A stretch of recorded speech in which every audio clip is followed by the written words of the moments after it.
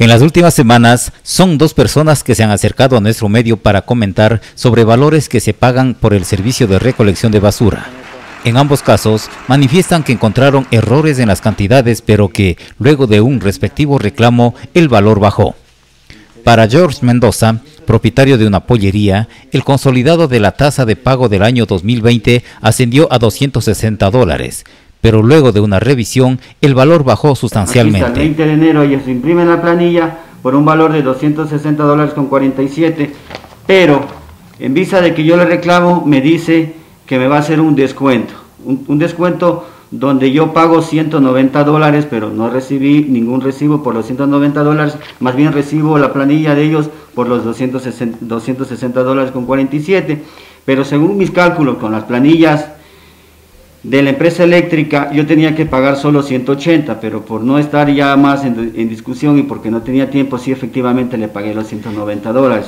Manifiesta que el cálculo se lo debe hacer multiplicando el consumo eléctrico por el porcentaje señalado en una planilla emitida por la propia empresa. A ese resultado, sumarle 84 centavos, que es el porcentaje fijo del año 2020. Yo abasándome a la tabla que ellos me dan, a la explicación que ellos me dieron, para poder hacer un control mejor.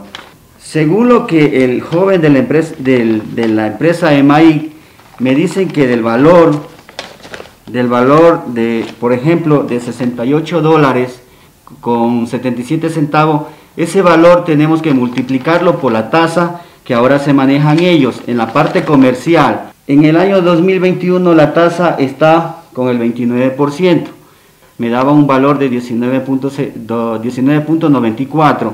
a eso le agregamos los 0.84, que es la tasa fija que ellos tienen, me da un valor de 20 dólares con 78 centavos. Pero resulta que me dan un valor de cerca de 28 dólares. Es así que me acerco a la empresa EMAI.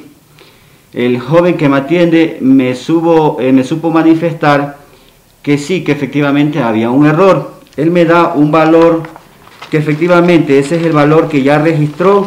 Los consumos de enero y febrero de este año se mantienen con los errores, manifestó. Sí le pido a la ciudadanía que comparen, que revisen en el momento que, tienen la planilla, que pagan la planilla de, de luz. Entonces, esta es una molestia porque tengo que movilizarme nuevamente o todos los meses parece ser que ya va a pasar eh, este tipo de inconveniente. El gerente de la EMAIC al respecto dijo que se pueden dar estos errores y que quienes se sienten perjudicados deben acercarse a las oficinas. Por supuesto que sí, la EMAICJ está abierta a escuchar absolutamente todos los reclamos tributarios.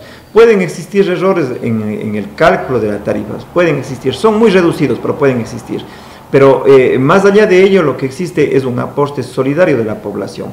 Lo que nosotros sí queremos dejar eh, sentado es el hecho de que eh, los ciudadanos que consideren que el valor de tributación que está haciendo es muy alto, pueden acercarse con toda confianza a las oficinas de MAICJ y, y si es que existe un error, por supuesto, lo, asumiremos y, ha sido el, el caso de, sobre todo, este, el sector artesanal, sobre todo el sector artesanal. Pero lo que sí quiero eh, dejar en claro es el hecho de que no se ha reformado la ordenanza tributaria. Se está dando un tratamiento personalizado a cada una de, las, eh, de los reclamos que se está dando por parte de la ciudadanía